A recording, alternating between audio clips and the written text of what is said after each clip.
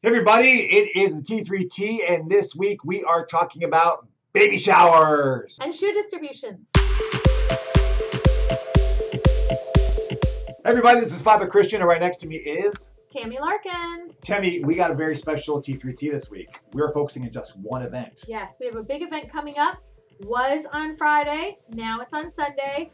So we have a baby shower coming up for a dear member of our community, our extended community, the Monterey neighborhood, which is the neighborhood that we did the Meet Me at the Manger event with. And um, there's a lady there named Angelica. She's got two little girls already and she's got two baby girls on the way. Twins are on the way. So we are going to shower her with love and baby necessities. Yeah, so if, if, if you remember from Meet Me at the Manger, it was all about community. It was great to be able to share the Bible stories and to hang out and hand out the goods, but it was really about building that community, building another relationship that we as St. Mary's, that is a big focus of what we do here as St. Marians. So this is another great opportunity for that to happen. We have a member of our extended community who need, who's has twins. and so we want to shower her with just tons of love. So just show up after the nine o'clock service uh, over at CFW. That's where it'll all be going down. So the coffee hour is basically going to just turn into this big old baby shower. There's going to be food. If you want to bring some extra food, that'd be great. But we're going to have cupcakes. We're going to have like some potato snacks, salad, snacks. Yeah. Uh, there, lemonade, uh, just to hang out. You don't have to really do anything, but just be there and help celebrate because members of the Monterey community are coming here, and we want it to be a big party. Yeah.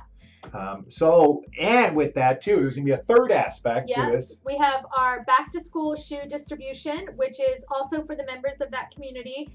We have 42 families that we are going to be giving school shoes to, and it amounts to a couple hundred pairs of shoes. So we've got a lot of shoes to distribute. If you'd like to help out um, right after the service at the same time as the baby shower, uh, please let me know.